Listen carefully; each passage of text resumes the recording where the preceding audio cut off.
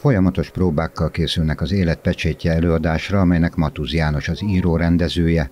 A dramatikus történelmi játék az Aranybulla a nagy jelentőségű jogtörténeti dokumentum kiadásának 800. évfordulójára emlékezik. Ősök tánca című koreográfiát táncolják a Stepen Sly stúdió diákjai, ami erre az alkalomra készített vállon hordozható óriás báb, egy ilyen ősi lény, három és fél méter magas óriás bábbal együtt fogják táncolni ezt a koreográfiát. A darabban fontos szerephez jutnak a fehérvári fiatalok is. A Stepen Style stúdió táncosai különleges koreográfiával avatják be a nézőket a kort felidézve az elődök életébe.